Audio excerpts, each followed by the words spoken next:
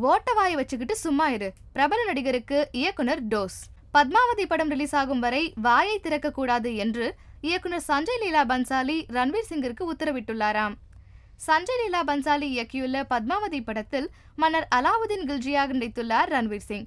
தீபிகா படுகோனே பத்மாவதியாக நடித்துள்ளார். படத்தில் ராணி பத்மினியை அவமதித்துள்ளதாக கூறி சில அமைப்புகள் போராட்டம் நடத்தியதால் ரிலீஸ் தேதி ஒத்திவைக்கப்பட்டுள்ளது. ரன்வீர் சிங் கண்ணை பறிக்கும் கலர்களில் உடையணிந்து நிகழ்ச்சிகளுக்கு செல்வதற்கும் வாய்வலிக்க பேசுவதற்கும் பெயர் போனவர். இந்நிலையில் ரன்வீர் சிங்கை அழைத்து பன்சாலி லெஃப்ட் அண்ட் ரைட் வாங்கிவிட்டாராம். ஏற்கனவே பத்மாவதி படத்திற்கு பிரச்சனையாக உள்ளது. படம் ரிலீஸ் ஆகும் வரை உன் ஓட்டை வாயை வைத்துக்கொண்டு சும்மா இரு என்று திட்டினாராம். பார்ட்டிகளுக்கு போகிறேன் என்று எங்காவது சென்று ஏதாவது உளறினால் பிச்சு புடுவேன் பிச்சை என்று பன்சாலி ரன்வீரை திட்டினாராம். படம் ரிலீஸ் ஆகும் வரை இருக்கும் இடம் தெரியக்கூடாது என்றாராம். கடந்த வாரம்தான் தனது காதலி தீபிகாவுடன் ஜோடி போட்டுக்கொண்டு பார்ட்டி ஒன்றுக்கு சென்றார் ரன்வீர் சிங். இந்நிலையில் பன்சாலி ரன்வீரை அழைத்து டோஸ் விட்டுள்ளார்.